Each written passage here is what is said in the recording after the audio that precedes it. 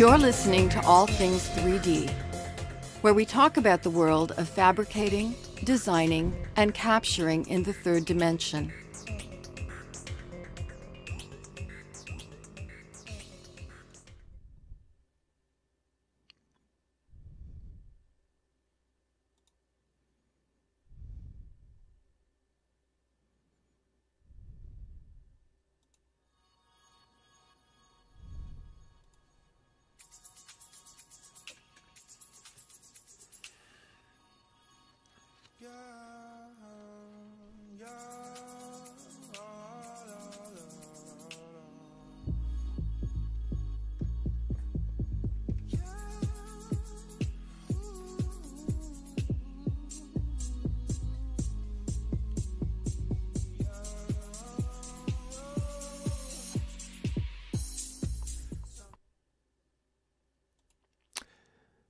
Good afternoon, everybody. Hi, this is Mike Bolzer from All Things 3D, and this is 3D in Review for August 24, 2018. So, what you saw before were a couple of videos uh, demonstrating my about $500 uh, AR headset. As you can see there, it's a, a prototype. I showed some images last week, but I've kind of uh, cleaned it up a little bit, modified it. Um, put on a, a bracket on the back, one of the ratchet type to make it a little more secure. Um, so today I'm going to talk about the components that I used to make this and if you wanted to go out and, and try it yourself, um, most of the components you can buy. There is one component, however, that's still not available uh, in any quantity and uh, hopefully that will change soon.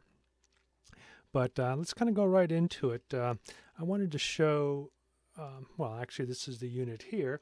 And essentially, it consists of three components a uh, OEM uh, AR headset uh, that's normally used for uh, smartphones. Uh, that's what the slot is. Um, but I've replaced it with a uh, 2560 by 1440 LCD panel from a company called TopFoison. they're a Chinese company. And then uh, obviously the, actually as I call the secret sauce, is the occipital core structure, uh, which is not available. Uh, available to the developers um, and OEMs, um, but hopefully they'll make a decision to actually sell it. And I'll explain a little bit uh, why this is important and how this all functions. So first, um, let's kind of go out through the different websites that we can see on each of the components and then we'll come back and actually uh, run a little bit of a test so that you can see it for yourself.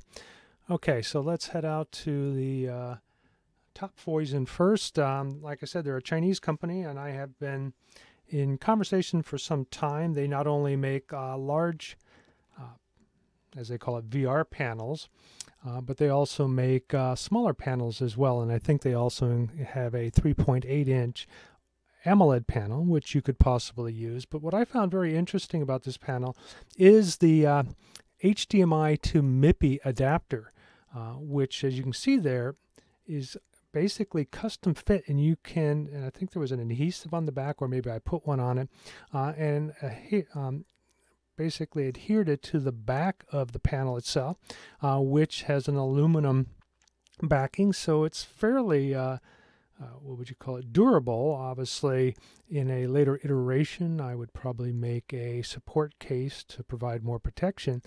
But almost out of the, the box, it's ready to go, and uh, they don't have other images.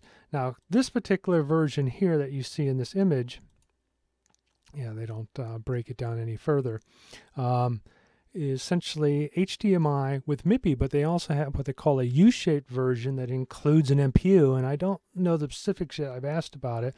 But for our case here, using the structure core, uh, that isn't really required. The IMU is built into it and uh, would not be required in order to uh, uh on this particular. So you'll save yourself a little bit of money. So I've been able to go out to like um, Alibaba and get this in quantities of 1 through 10 of about uh, $88, $90, uh, maybe a little bit more than that.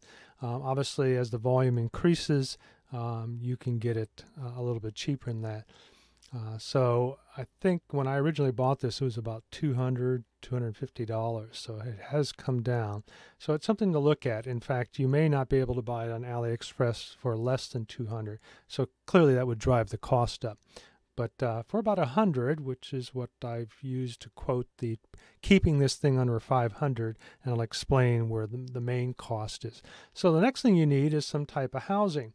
Now, as you know, with the uh, Leap Motion, they have a system uh, about actually creating um, this convex semi-mirrored structures that are required in order for the light or for us to still see through it because it's semi-transparent with a semi-mirrored finish, but we also want to be able to reflect the display. And in the case of the uh, Leap Motion uh, open source system, it was essentially two panels that projected from the sides into uh, the lenses. This one essentially projects the phone directly into it.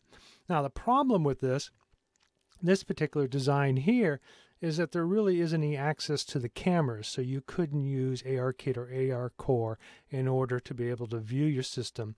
Um, but the cool thing is you can go out there, they have downloads for the SDK, and this particular version here is their um, uh, HR Box 2, uh, which is a different design than their previous. Uh, they've gone to more of a, uh, a strap instead of an elastic band, which I think is nice, but the fact is that if you're going to be using it uh, on a repeated occasion, uh, you're going to have to be able to hold it and then put the straps tighter. They've also changed the lens out. Uh, if you look at the one that I have here, these are kind of a bluish tint. They've gone to a smoky gray, uh, semi-mirrored, and I think, if I remember correctly, they told me that it was had a little bit more transparency.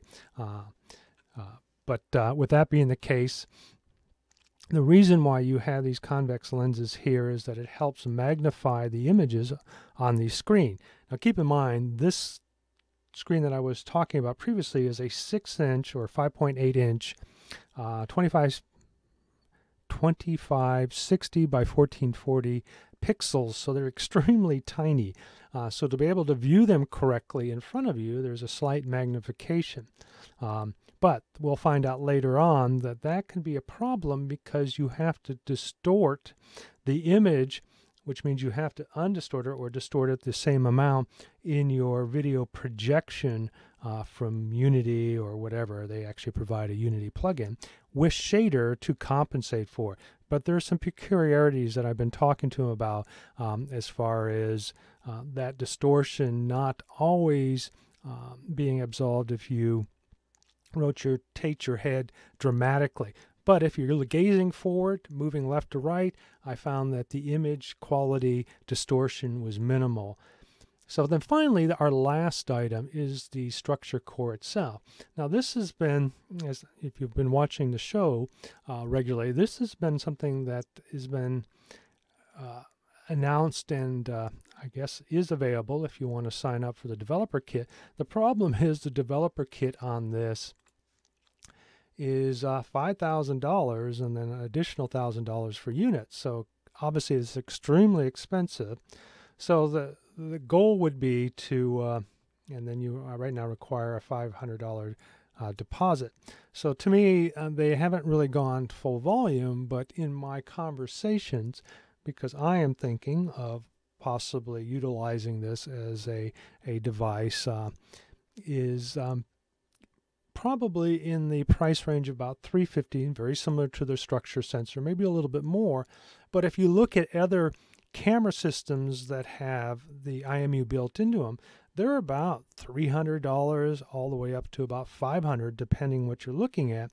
And normally they're stereo cameras. The cool thing about this this includes two stereo infrared cameras which are the two outside a wide angle um, RGB camera actually I think it's a black and white camera in the middle and then the actual structured light uh, emission device, which is like the dot pattern used in the iPhone 10 or a, the Kinect One, a slew of products now that are available on a very small compact chassis that also provides heat sinking. So uh, as you can see in the design, and I'll jump back to my own screen. Um, as you can see, I've designed a case for it with some ventilation on top, but other than that, it maintains a, fairly uh, decent uh, temperature range, and more importantly, it works really nicely, as we'll see in a moment. Uh, so they have obviously made lots of progress. I've had an opportunity to work with their uh, alpha version of their Windows 8 SDK, uh, which currently provides only positional tracking, but in the future it will provide all the features of the Bridge engine um, in a Windows package. And uh, essentially, I have three cables. Uh, two of them could be combined, and actually, actually three if I put in a USB-C multiplexer. The actual core uses a USB-C connection, uh, whereas the uh, Fusion uses a micro SD to provide power only, and uh, the HDMI, which is a HDMI Mini. So in my my design here, or interface, I basically took a cable from one of my older um, uh, headsets, tore it apart. So I've salvaged the cable, so that provided my HDMI and my, my micro USB, um, but it's a standard micro USB that I had to put an adapter on it. Uh, clearly, that would have to be uh, changed to a micro, or excuse me, a mini uh, HDMI. Uh, but they also provide an audio jack that works off of the HDMI audio, and I have used it, and it works pretty good. So essentially, you have an audio capability as well as all the interfaces in that particular card. So clearly, they had uh, made this to work uh, in an, a, a, headset or a, a VR type device. I don't think they had thought about it from a AR perspective, but as you saw in the previous two videos, I think it works fairly well. The only disappointment, and again, is that the backlighting, since it's an LCD, an IPS LCD, um, gives you kind of a, a gray instead of a full black. Clearly, an AMOLED screen would be superior, uh, or uh, some of these newer twisted matics. But uh, for the cost, let's say $100 for this panel, uh, obviously that is one of the disadvantages you could probably live with. Now, clearly, if you wanted to add more money into this and find a panel uh, that is AMOLED from 5.5 to 6 inches at 25 by 60, you could go in that direction. And some of you who might have your old uh, DK2 from Oculus, tear it apart because there's a nice uh, 1080p AMOLED screen in that that could be used. And it also has an IMU. So even if you didn't have the positional tracking, you could still put it to use uh, in this particular headset. So you could work with it that way. So I'm getting an error. So I'm going to go ahead and give the test now. Otherwise, uh, my system will die and then we'll have problems. So uh, here, let me jump back into my screen. Where are we at? Okay. So let's see. I should be able to reset it and get a screen. Maybe not, because no, nothing ever works for me. Okay, well, let's see if I can bring it back up. So give me a moment here. Now that it's frozen on me. Oh, there we go. All right, so you should see it. and it just went away. Oh.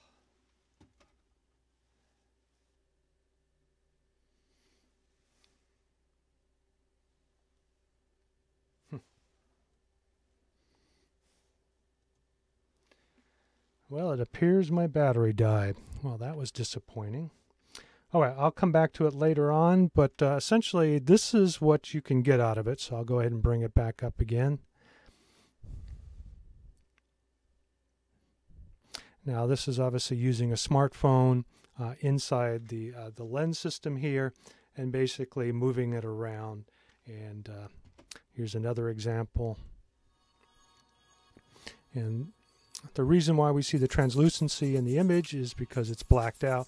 And many AR systems, HoloLens as well as the new Magic Leap, work in a very similar uh, process. As you can see, as I'm moving around, uh, the reason why the, the movement isn't smooth is because I'm shifting because I have a lot of stuff in that particular area that I uh, work in. Uh, but as you can see, it's effective. I have full rotational and positional.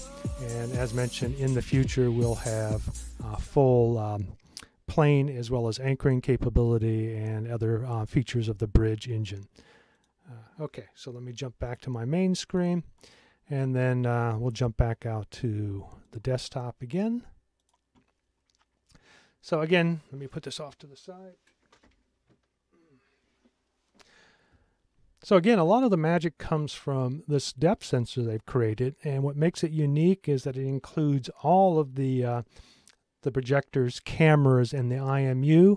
So literally, all you need is a panel and uh, some type of headset. So again, this could be used for VR as well. And uh, what's funny is when I get into talking about the Magic Leap, a lot of this uh, capability, both the HoloLens and all this, use some similar type of projection system and cameras uh, in order to provide the positional tracking. Uh, the nice thing is this is all included in one package. Um, however, there is no date when this would be available, but I am looking at uh, possibly putting together my own headset or making an optional kit based upon this uh, as soon as they uh, develop more in their Windows kit so that we could use it possibly in the small headset that I've talked about for $500. Or if you've got a Dream World, um, what is it called? The Dream Glass. Uh, which is some people call the Meta knockoff, but obviously it was one of the original founders uh, or somebody that worked with them that went off to build their own that I've been in discussions with uh, who has hand tracking but doesn't have positional tracking. So this could be included in that. Uh, so I'm looking at uh, providing a case and structure system, no pun intended, uh, to allow this uh, to be added for about three to three hundred fifty dollars uh, to any type of device. So um, keep tuned up, and we'll see later on when that actually becomes available. Um, but uh, so far, I've been very pleased with the results. Uh, processing time's a little high, but uh, that should come down in the future as we see more and more iterations uh, of this. Also, keep in mind as they show here, this uh, structure sensor SDK uh, will be available on other systems, Mac OS, iOS, Android, Linux, as well as Windows. so we're going to see a full complement of libraries that are available to use uh, the structure core. And there are a couple of other products out there that I think there's a robot out of Colorado that's using this. Um, so we're going to see more things from it. And uh, I will keep you abreast on my development with it as well as Occipital's uh, as it becomes more and more available. Okay, so let's move on into our first item. Uh, let's see, is that the one I want to cover first? Yeah, it's the iFixit uh, teardown. And if you're like me, you love what iFixit does because they spend their money and they tear these things down. And uh, for most part, I don't have to tear down my units. I have had to do that occasionally, but keep in mind, once they normally tear these down, they normally don't go back together. Um, so there's a nice little video, and I will just jump right in the middle of one. Um, and as you hear, they see in this video here, they're actually tearing it apart. And here they're showing the, the projection system within the, uh, the lenses.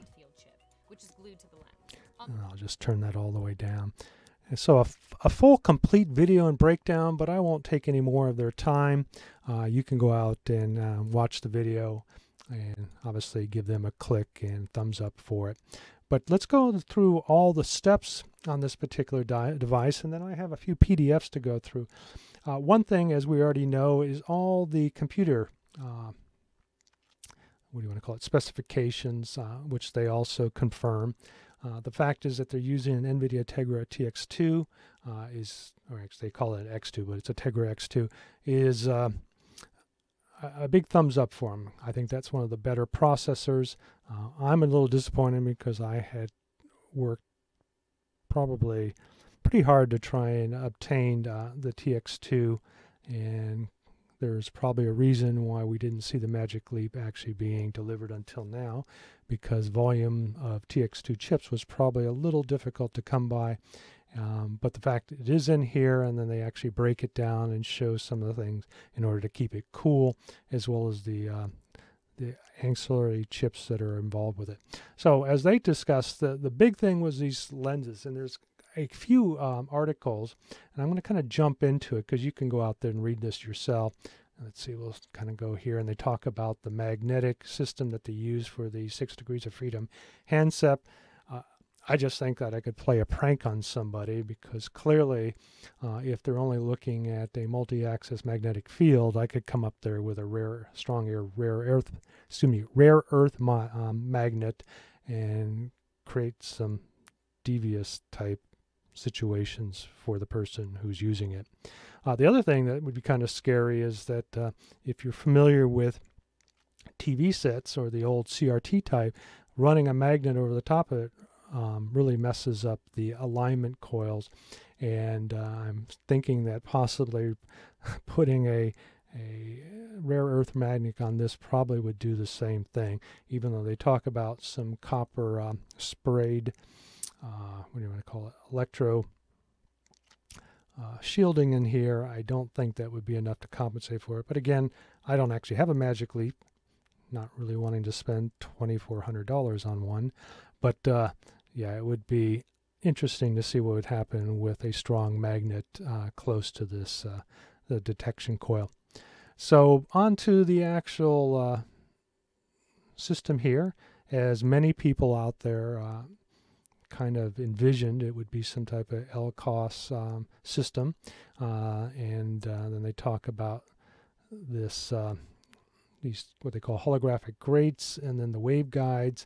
Uh, as mentioned, there appears to be six of them, and uh, and basically, as we have seen in a lot of the videos and uh, demonstrations, there is a a front focused um, plane as well as a back focused plane uh, to provide uh, stability to focus from near objects to far objects. Many people did not feel that the effect was dramatic enough to really notice.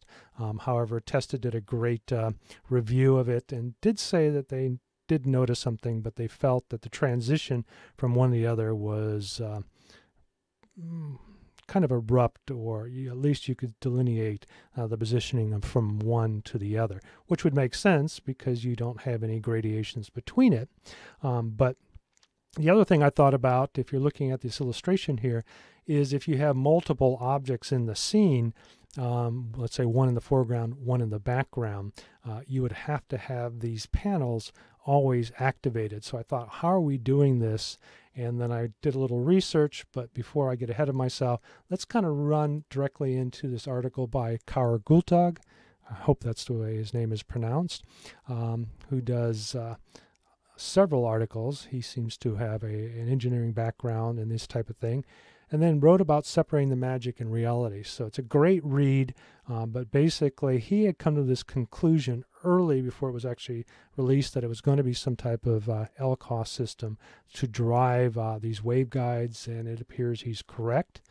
In fact, I don't even know if he identifies, but he also talks about some of the effects seen in some of the videos, um, like ghosting or an aura around objects as being a cause of using these type of waveguides. Um, so he basically is right on. In fact, he, he brings up one of the patents, uh, which I also have in one of the PDFs that I'll bring up shortly, um, that talk about how this is all done. And here we see the LCOS system and then from the previous block diagram. And uh, something that I came to the conclusion after seeing this is, as you can see here, we have basically two sets of RGB, one for the foreground um, plane as well as one or three RGB for the rear plane, all going through one LCOS type uh, panel here. And, uh, you know, I thought, well, how are they going about doing this? How are they switching it in, in order to keep this indicated in the Unity uh, SDK uh, 60 frames per second? Uh, but then I realized that uh, each of the image planes are only, what do they say, I have it somewhere 1280 by 940 or something like that. So that would work in hand with uh, some of this, uh, the manufacturer who makes this LCOS uh, range where you could go either 1080p at uh, 60 frames per second or 720 at 120, which makes a lot of sense. If you're going 120, clearly we could uh, essentially run two frames in there. But there's also something else that I found very interesting. And uh, so instead of going, I'm going to go into the PDFs now.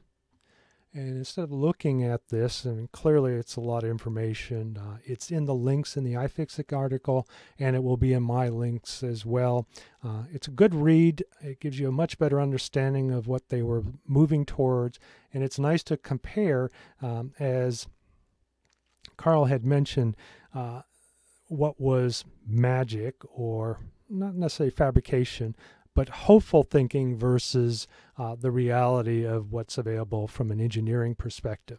And with his experience in, in creating uh, very small uh, display systems, uh, clearly he would have a good understanding of what would be available and what would be kind of a fantasy. And so some of these processes here that they identified are clearly something that's going to be in the future, and I think it probably will not be for some time.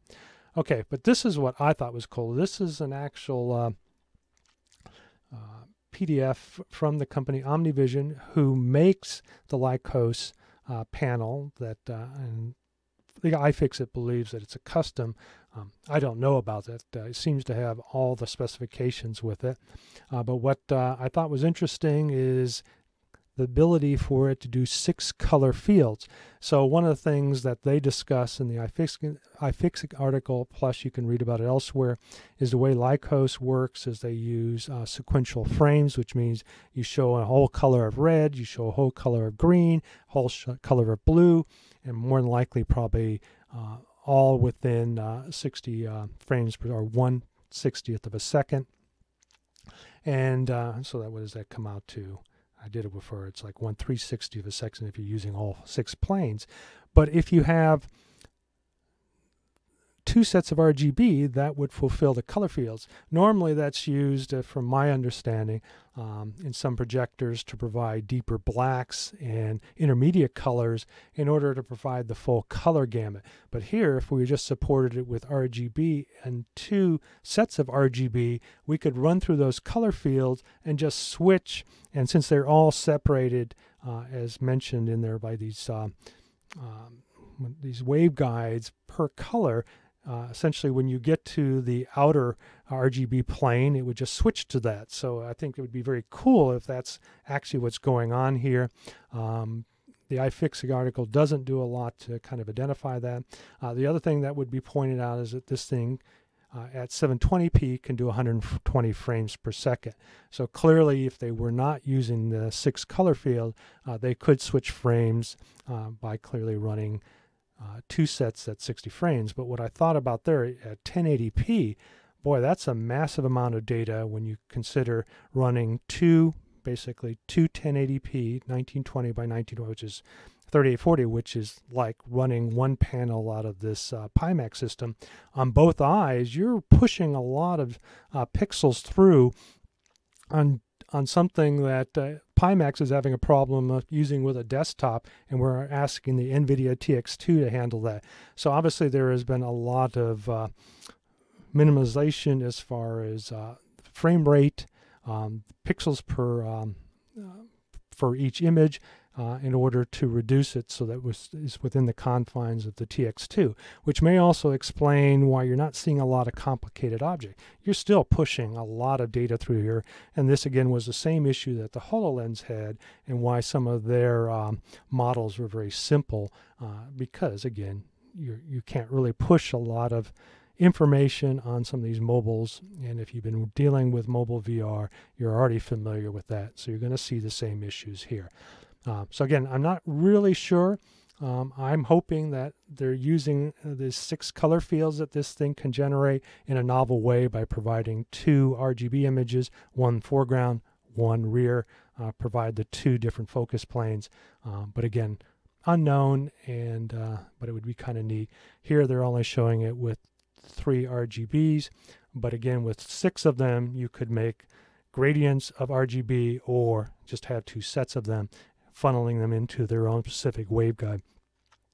So, uh, who knows? But that's just my kind of idea. So again, you can go back and read the the entire uh, patent for this, and then let's see. Do I have something else? Oh, here's something else in it, but uh, I'm kind of leaping.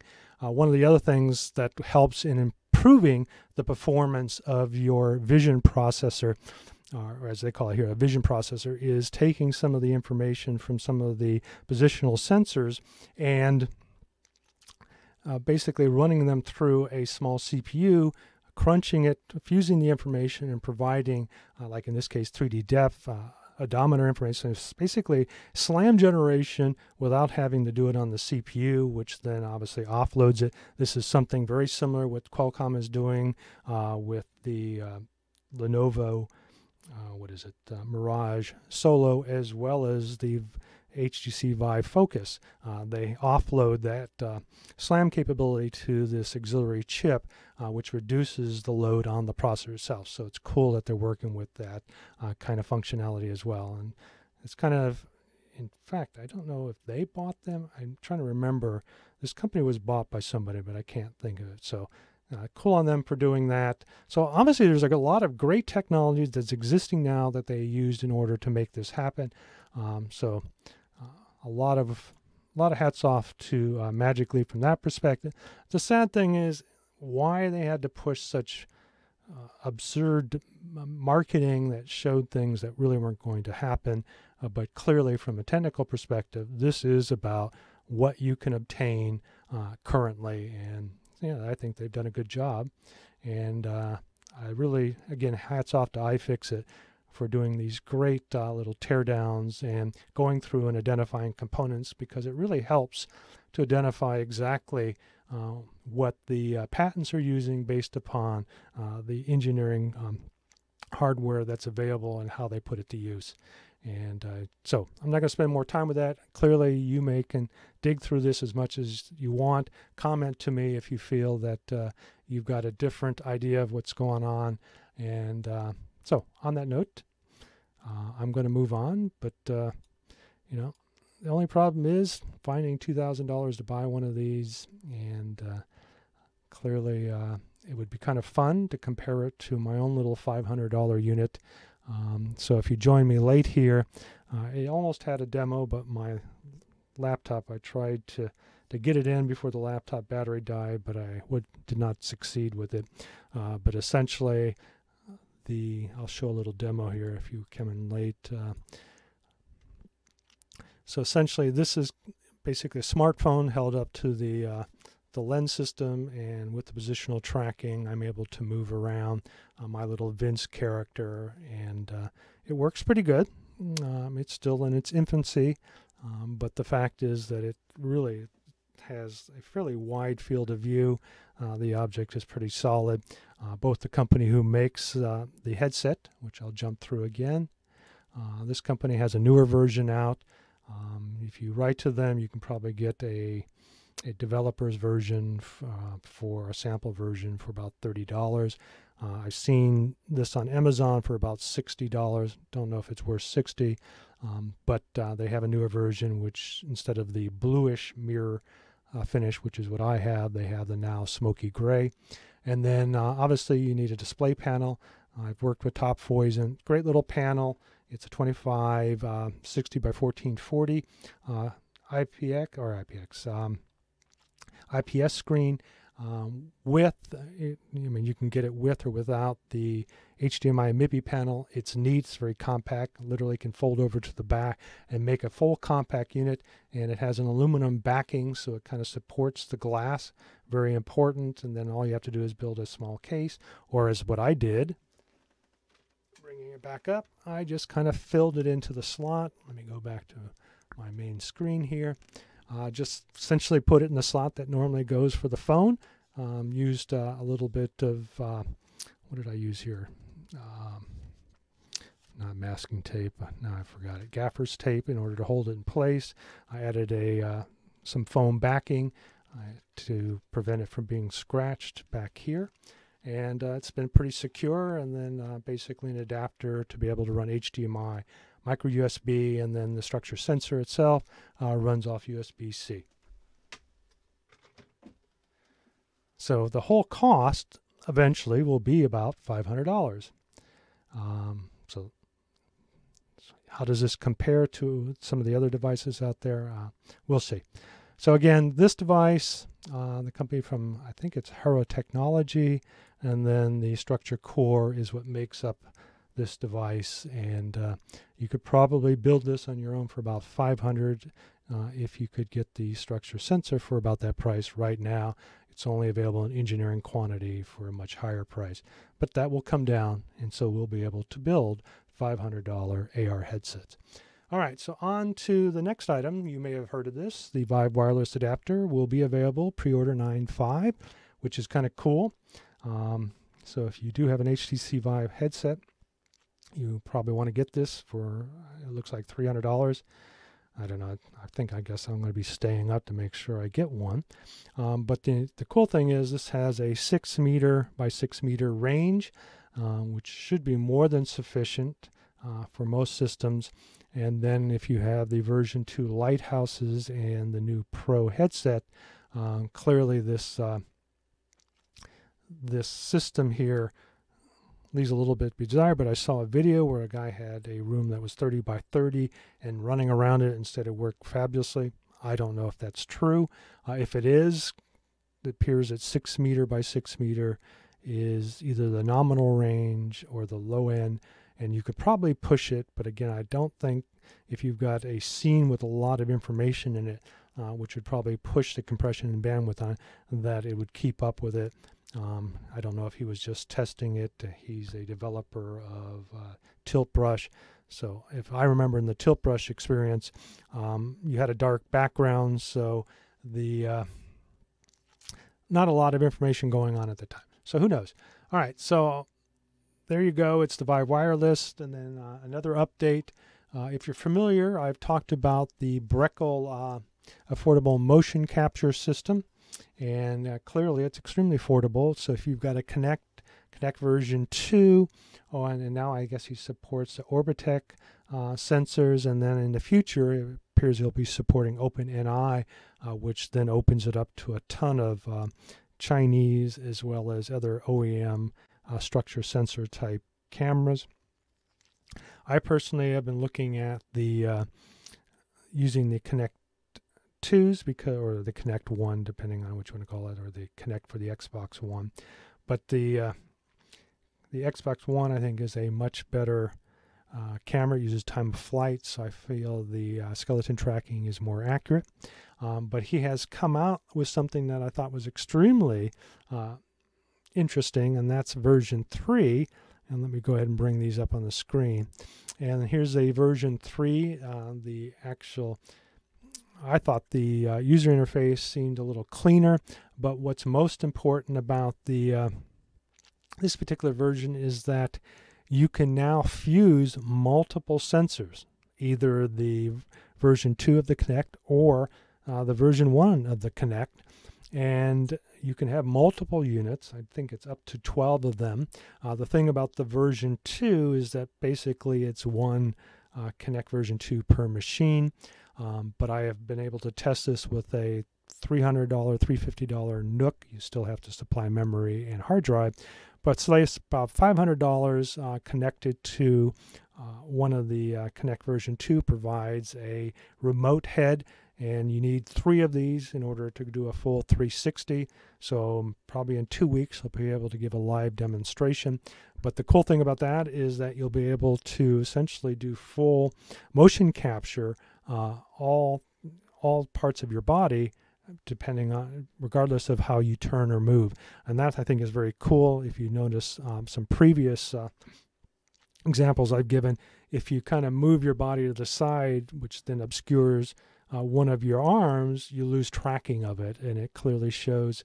I also notice in version 3 that the tracking seems more solid, more stable, less jitter in the feet.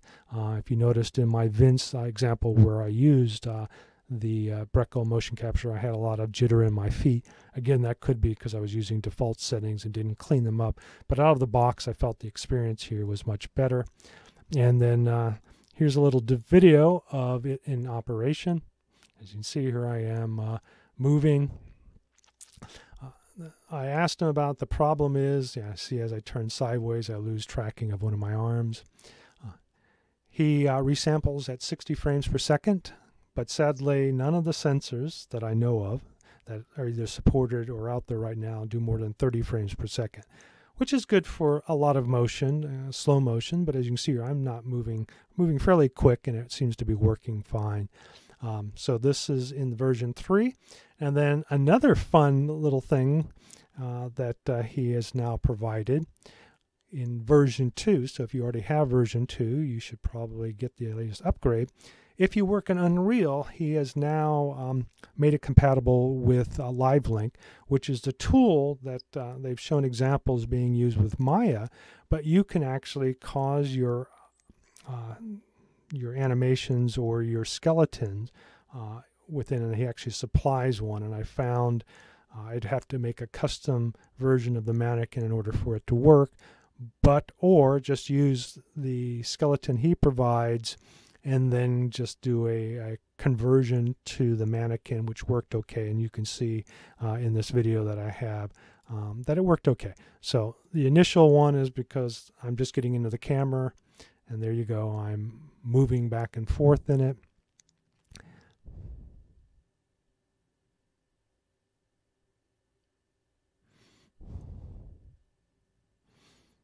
And there's a little bit of floating, as you can see on the mannequin character. You can't see behind me. But his um, skeleton seems to work pretty well. Um, I didn't do anything to tweak the mannequin, but as you can see, it follows a lot of the same animation. And again, as you can see, as I turn sideways, I lose tracking of an arm. So again, I'll come back later on and test it in full 360, which should resolve that. But the cool thing is I was able not only to provide real-time tracking within Unreal,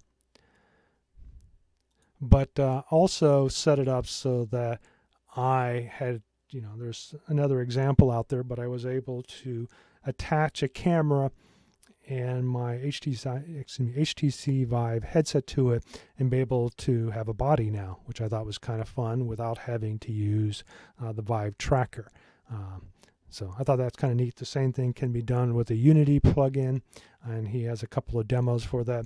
I had run into some issues with this because, let's see if I can show it again. Um, let's go back to this. Uh, over on the right hand side, if you zoom in, um, he has the ability to stream this live over uh, multiple ways. One is the uh, live link we just talked about for Unreal. Another one is basically using either an FTP, or not FTP, a uh, TCP/IP or a UTP or UDP um, protocol in order to stream information. I tried doing that in the version 3 and ran into problems. We finally realized uh, with the version 3 as it stands, because it is in beta, I needed more than one sensor, and sadly at this point I only have one sensors. Later on I will have two. Um, so it didn't actually allow the uh, data to be streamed. Uh, so I went back to version 2, everything worked fine. So when I get my second um, uh, Kinect 2, this should be alleviated and I'll be able to give some interesting um, animation examples where I have much more uh, what do you want to call it? Resolvement of my motions because I will have cameras all the way around me. So looking forward to that. Okay, so let's see, where are we at now? Let's get into some of the news items because uh, some of these are kind of neat. Well, one thing that uh, a lot of people have been bringing up is uh, this ray tracing functionality that's going to be built into uh, the new uh, NVIDIA uh, processors, the Quadro RTX, and then what is it, the RTS um, for the consumer market, uh, will now be able to do real time, um, what do you want to call it? Ray tracing. Well, we'll see about that if it's going to be real time. Some people feel that it's not going to be everything that we expect it to be. And some of the examples and videos that we've shown before uh, were only possible because you had uh, these very sophisticated multi-card uh, versions of this, which cost tens of thousands of dollars. And in fact, I think the Quadro version of the uh, Quadro RTX is like 10,000. But the pricing on the consumer version, I don't know if they have it in here. Um, here, here's I'll throw a little clip in there. Used in the Unreal Engine, which they develop it. But again, this was done in real time with a very beefy, I think it was fifty, sixty thousand dollar system. Will we be able to get that? No, but we should be able to see some um, principles of ray tracing, maybe just in objects that are ray traced. So we could probably switch between them.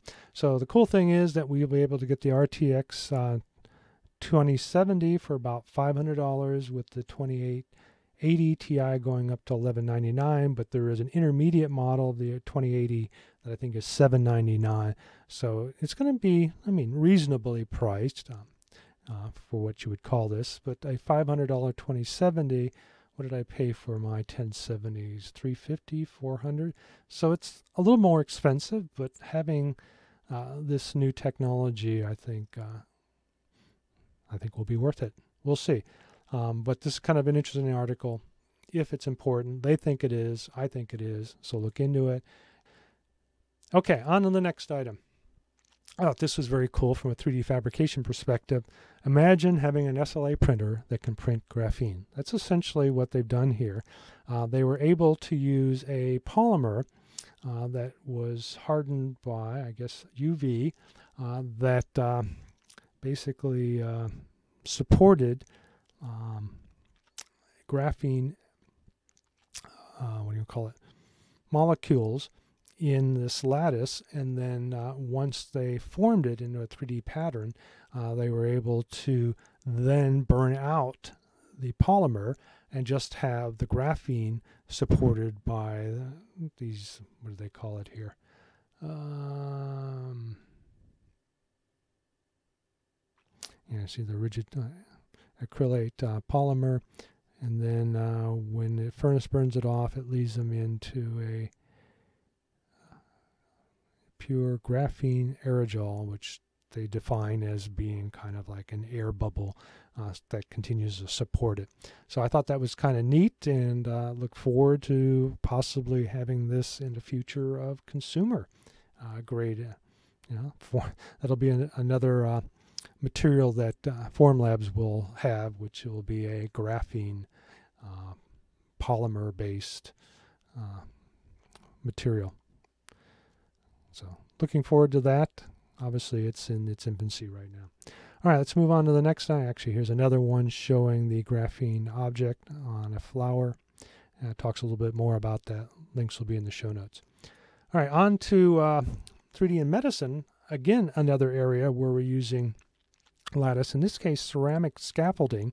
And this isn't the first time that we've heard this. You remember uh, I've talked about this. There was a either Australian or New Zealand uh, researcher who had come up with something very similar and actually has worked in Beijing uh, University in order to move forward with it. Uh, I don't know where she's at. Um, I can reach out to her. I have her email. But it looks like something in the United States very similar. Uh, so they do talk about uh, the process, but essentially they create a lattice and then put it in, uh, and they use it on obviously test animals, but they put it uh, where the bone should be. Uh, the bone grew through the lattice, provided support, and then eventually dissolved, providing uh, a bone structure very uh, similar and with the same strength as the original bone, which I thought was very interesting. Um, clearly, the lattice system would have to be designed and printed beforehand and then inserted um, so in the case of where you have internal structures, uh, like in the case of my wife, uh, the upper orbital roof um, that was reached through her eye socket, uh, you would need kind of a, a, ship in a bottle type technique. Um, but if you had done a, a standard uh, craniotomy uh, where they lift the brain, then you would have access to it and you could build this mesh. Uh, now, again, there are some probable um, limitations to this. How much of the bone can be removed before the bone will grow through it, um, that's unknown. Uh, but clearly, this would be something important uh, where we're actually using bone instead of replacing it with uh, titanium or other synthetic materials uh, that degrade over time and have to be replaced. So, uh, again, lots of uh, work being done in these areas, and it's slowly. I wouldn't say slowly. Obviously, it's very fast. If we're looking at it in real time, it seems slow, but we're seeing a lot of progress. And again, I'll reach out to the researcher uh, from Australia and see where she's at with her uh, research. And uh, I think I've read something before that she's basically moved into the same uh, testing Uh, and who knows, they may actually be doing human testing by now. So we'll get into that later. Okay, so let's move on to, uh, let's see where we're at. Uh, scanners. So if you uh, live in Austria, you're probably already familiar with this, but this is a company called 3D Copy Systems out of Austria, and essentially it's a photogrammetry system using DLSRs. We've not we've heard this before, but it seems a lot more uh, clean, organized, um, that you can purchase. And here, yeah, now that you can see it, if you look at this image here, you can see where they they're on rollers, but you slide the two sides back into place once your characters or, or subjects are in place, and then um, basically probably from an external camera view it and then take the snapshots. And then I guess they're coming out with a little Alice version uh, where the big Alice is 64, the little Alice is 36 cameras. I don't know exactly, now that they say 36, I thought it said 8, but 30, that makes sense. So essentially, what is that? Uh, what did I come up with? Two. So 13 uh, layers with two cameras apiece uh, versus in this one it has four cameras apiece, but a much smaller space. Or was it three cameras? Oh well. Yeah, maybe it was three, so that would be 12. So three cameras instead of four cameras, and only 12 of them uh, instead of um, I can't remember exactly how many around, but uh, but again, with a smaller confined space, uh, you would need as many cameras, and so more than likely it'll be cheaper. Uh, no pricing, you'll have to contact them. Uh, but I thought this uh, product called the Griffin was interesting. Let's see. And essentially, it is a an automated camera mount that tilts and positions your camera, and I don't know if you have to go to different locations in the room, but takes multiple images so that you can provide these multiple images into a photogrammetry software system and have them compile those images to create uh, high resolution 3D objects with textures. And here's an example. I'll bring it full screen.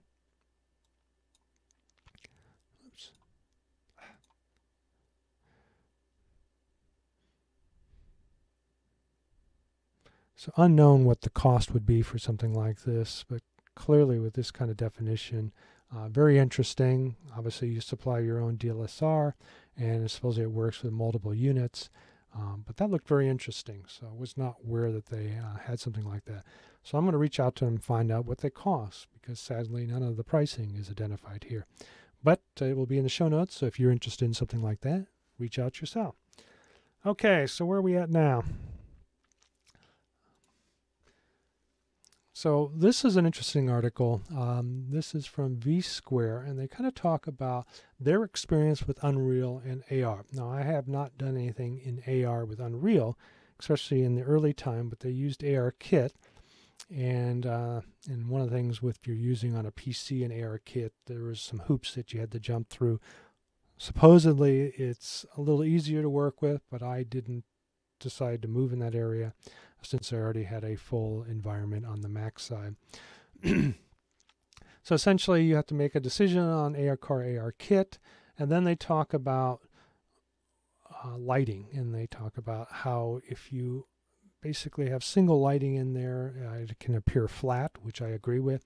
So one of the things that I learned early on that they talk about as well is you essentially they call it emissive in Unreal, which is their term for it, but essentially an unlit scene uh, using emissive properties so that it illuminates regardless if there's any lighting. But then you bake in all your lighting in, I think they used Maya, but there are plenty of tools. Blender has some baking tools as well. And then I guess there's a plug-in to make it even easier. Uh, I've used uh, a couple of other products uh, to do this as well. So you bake in your lighting and your shadowing, and then you bring it back in and that gives you that uh, shadow quality. Uh, you can also bring in uh, jeez, I can't think of the word now. Some of the other features uh, that the name is escaping me, but you do all this beforehand, so I would agree with them. And, uh, and then you just bring it back in. And some of my models, like Vince, uh, I use something similar with bake in your, your shadows, and then it looks a lot more realistic without requiring a lot of uh, processor time. So you can read that article, get a little more information on it. Um, but I do agree with them. I don't know if they had a demo in here, and they don't seem to, of uh, their own product, but I guess you can go out and find that out for yourself. Uh, to what this right, so the main topic is on this, and that, or at least in the uh, 3D Tech Closet, and that's the Zoom H2N. This is a, it's actually won awards, the workhorse of field recorders. It's small, lightweight. It's been around for a few years now, I think about three years.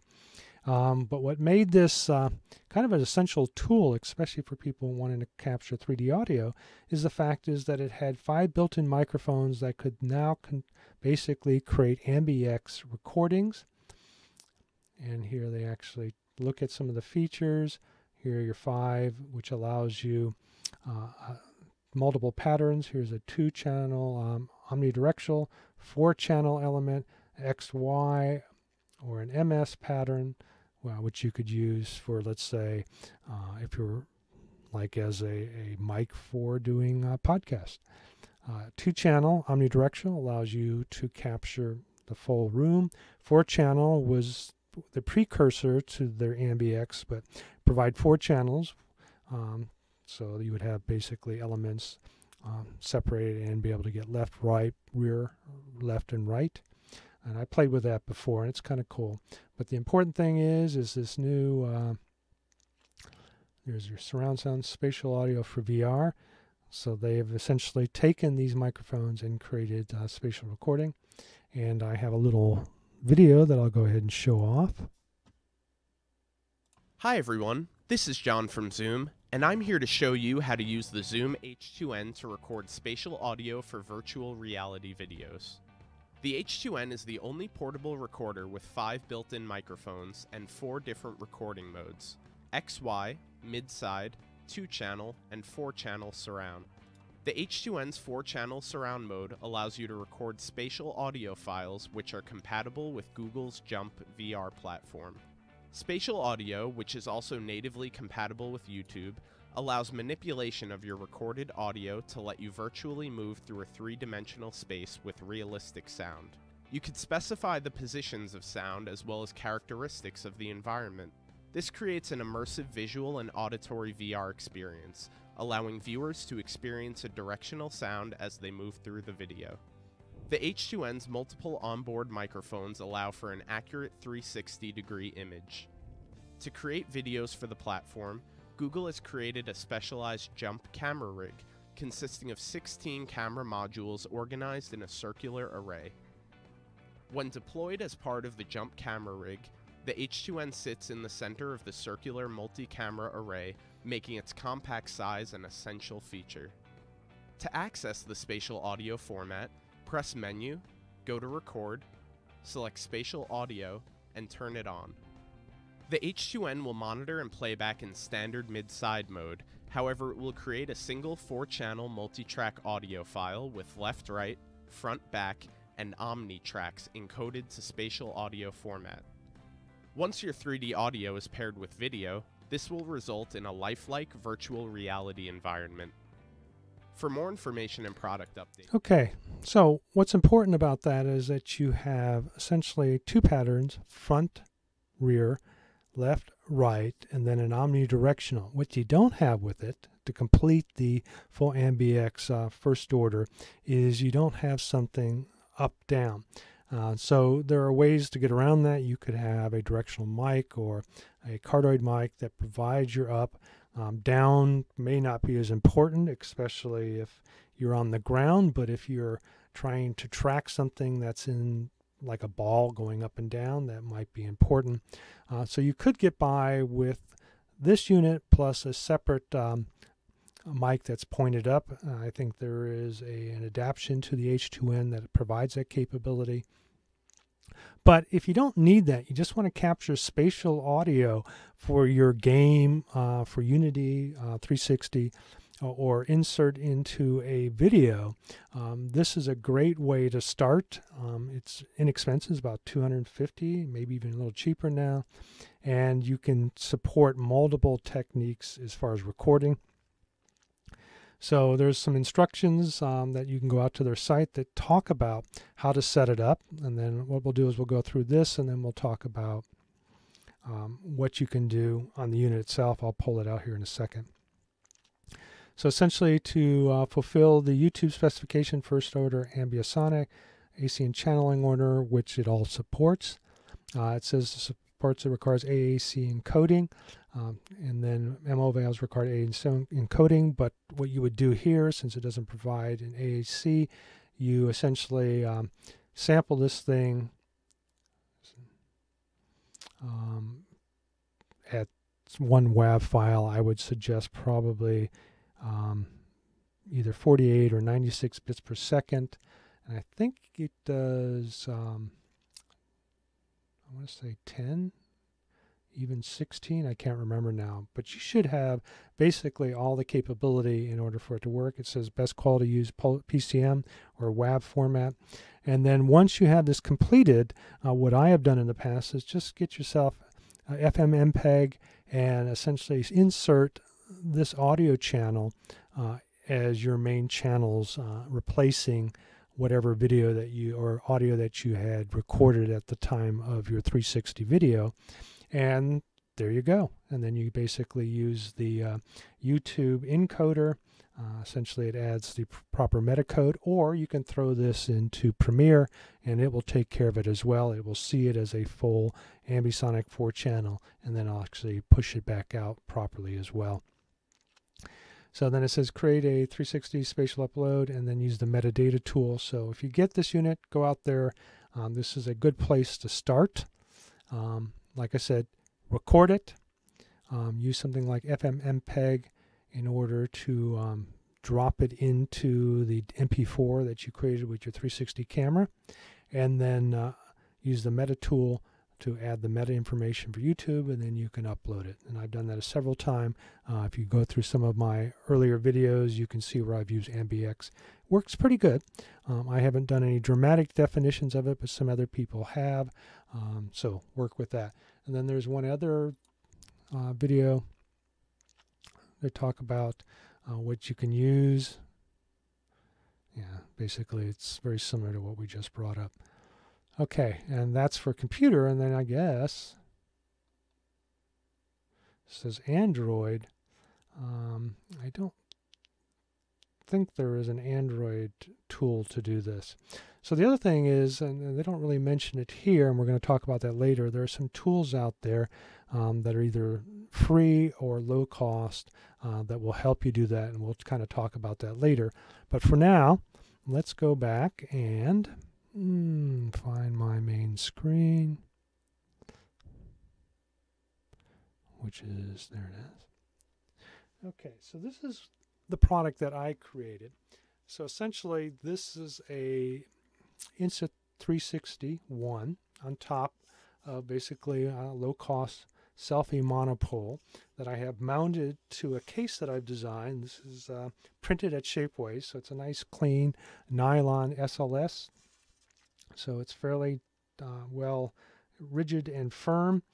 And obviously clear access to everything except one area um, that I will have to work around, but isn't a problem once you're all set up, and that is access to the menus. But we're going to go ahead and take off the upper um, panel here. And it just kind of snaps off, maybe.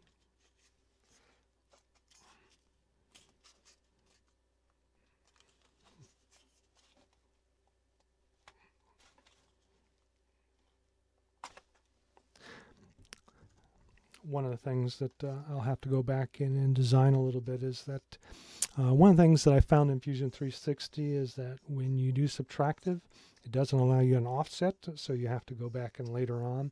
And I guess I had forgotten to do that, so it's actually really tight. So I sanded it down a little bit. So if you're wanting to go out in Shapeways and get this, I'd hold off until I can finish um, redoing that uh, one, the upper piece, uh, so that it uh, has a little bit more clearance. Okay, so there's your lower piece. Uh, essentially has a location to you put a, like a um, one quarter bolt in it, and then uh, that allows you to screw in a monopod like I have here. And then there's another location to put in a one quarter thread, uh, tripod type thread to hold this in place, as you see here. And as you can, can see, you have access pretty much to all your controls, even the menu once you take the top off, so and the power button. So I will turn it on. And it takes a, a few seconds depending on how large your SD card is. And then I already have it set up for um, spatial. And as you saw in the previous video, you go to menu. And then uh, essentially, oops,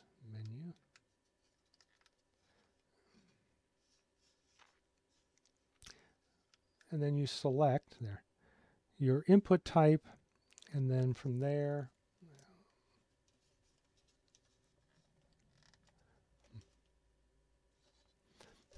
Uh, let's see, I don't have a pen.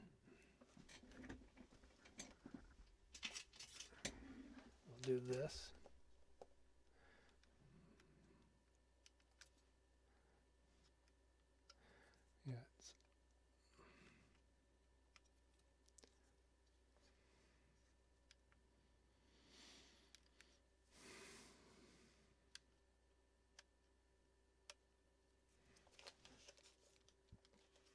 We'll take it all the way off and you can see. Okay, so so let's go to record.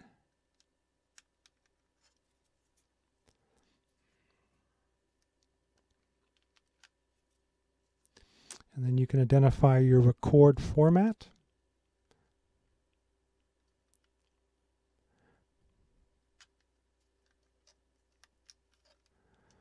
And here I have 48 kHz 24 bit, but you could probably just use 16 uh, bit.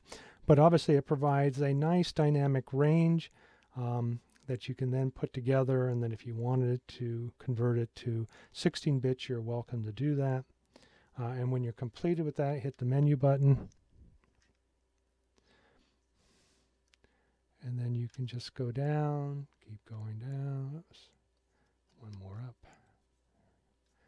go to input.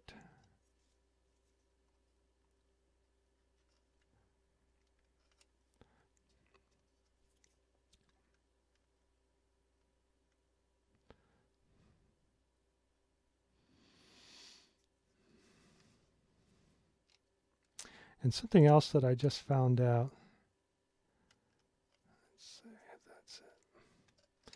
is that you can hook this up as a USB device and actually get AmbiX through USB so it can work in real time if you upgrade to version 3.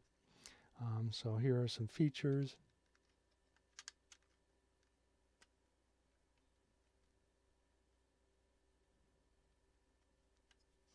And then as mentioned up here is where you control your pattern. I have it on 4 channel which is necessary. And then you just basically rotate this to your channel selection um, right up here to 4 channel. And that should be it. And just keep hitting the menu button until you're back to spatial audio.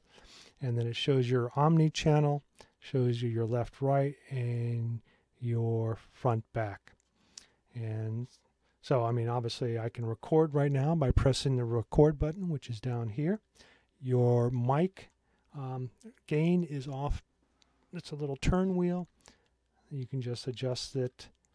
There, we adjust it all the way down so we don't have any uh, volume. But as we turn it up, uh, we have more. But keep in mind uh, that also increases the gain, so it also increases the ambient noise. So you might want to keep that in mind.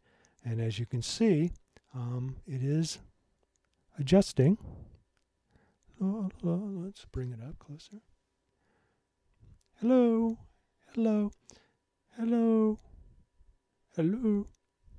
So once it records all this, and I'll hit the record button, and as you can see, in order to identify, the red light comes on, identifying record up on top, which is still visible with the top on, and also um, you should see the counter. Uh, oops, there's too much glare. Let's see if I can there we go. Um, you can see the counter incrementing as well on the number of seconds. and just let it run. I found that this thing is capable of recording uh, with a good fresh um, pair of alkalines, uh, geez, eight hours. So if you put in a large uh, card, you can have this thing for record for a while. So there's a couple of ways um, to gain access. Sadly, the USB card is below, so you'll have to remove it from the case. But if you're not using a case, it's fairly easy. Or you can uh, attach a micro USB, actually it's a standard mini or USB connection here, and uh, run that into your computer and then it will act like an SD card. Or as mentioned, you could use this as a as a podcast mic, uh, depending on this. And now you can actually use this as an AmbiX mic, uh, depending on if you have a DAW that's capable of bringing in four channels in real time, uh, which could be very cool uh, to be able to do a live AmbiX uh, recording with 360. Uh, that's something I'll have to explore in the future, but the fact that it's available. And so, with that, um, I'll put this back together. And uh, nice little cage to protect it, mounted on another monopod, and uh, with the camera on top. Hit record, hit record on your 360. In fact, I think the Zoom has either a wired, yeah, I think it's a wired remote. Yeah, there's a little thing. I don't know if they have a Bluetooth type. Um, so you could control it wired uh, remotely, but uh, I don't think there's a Bluetooth component, which I think would be kind of neat. Then you could run this with the uh, your camera in order to support this up here as well and have them both go on at the same time. Otherwise, just use an audio cue, clap your hands, or if you've got a clapboard, uh, so that way you can synchronize the sound for later on. Uh, if you're only exploring ambient sound, uh, that would be good.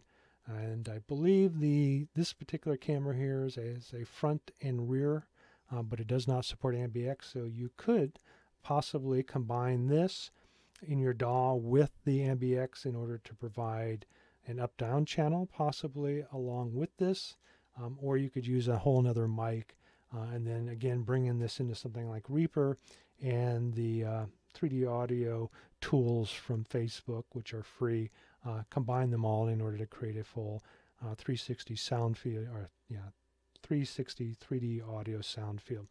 So, what good is this? Well, if you're out in the field, like I have been, and I'm trying to create realistic settings, you could put this out there, let's say at dusk, dawn, where you're having minimal human traffic. Um, you could capture sounds from the forest, lakes, whatever, and then bring that back in to create a more realistic ambient experience uh, that would modify based upon how you changed your, your head movement. So if you had, let's say, an animal that was um, walking through the brush off to one side, uh, clearly that would show up if it's loud enough uh, in your headset, and you'd be able to basically get the feeling that there are things alive around you. Same thing with the rustling of the trees and um, uh, just a more full embodied sound. Uh, I use this to um, go to a our nearby creek and was able to um, look at the audio or not look at um, record the sounds of the creek, the water, um, as well as other sounds in the area, and it seemed extremely realistic. Uh, so it's a great little tool. And uh, next week, or in two weeks, we're going to go ahead and, and pull out the SD card um, with some samples that I've done before, and then bring that in uh, to the Reaper um, DAW as well as uh, the spatialization tools from Facebook in order to create a sound field and a file that we can then put bring into Unreal and Audio or Unreal and Unity in later episodes. Okay, well, that's about it for today. And uh, on that note, I will, fact, I should have hooked this up, but maybe uh, in the next episode, I'll have this hooked up so you maybe possibly able to experience it online. But on that note, um, enjoy your weekend, and I will see you in two weeks. Bye.